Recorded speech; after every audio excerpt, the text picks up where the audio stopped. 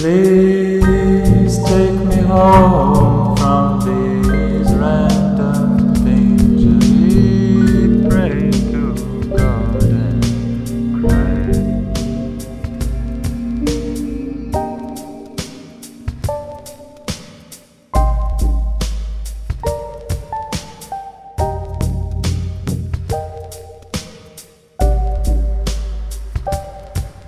You're a sun-like soul beyond these walls of time and space and material laws. You, the sun-like soul, see this world through the body of